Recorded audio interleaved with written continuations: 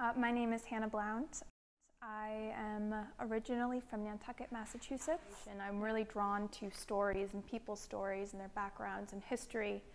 And so I like to think that I create jewelry for the modern storyteller.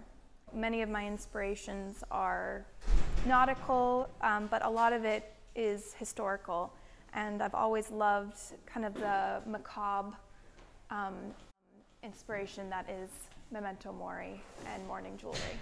Scrimshaw is scroll work. It's where you take a sharp object and you basically scribe or carve into a porous um, material. Uh, I find shells the, on the beach and polish it um, and, and, carve into it, scribe it, and fill it with ink.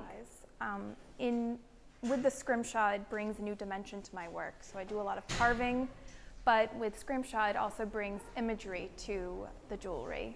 Um, the first piece I made in this series is this skeleton, and it says Memento Mori on the front, and it says, um, prepared be to follow me.